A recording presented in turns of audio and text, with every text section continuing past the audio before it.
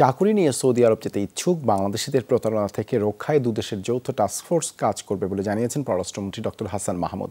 Saudi আরবের রাজধানী রিয়াদে প্রবাসীদের সাথে মত বিনিময় সভায় তিনি একথা জানান। মন্ত্রী বলেন, সৌদি আরবে বাংলাদেশি জনশক্তি রপ্তানিতে আরও স্বচ্ছতা আনার বিষয়ে আলোচনা হয়েছে।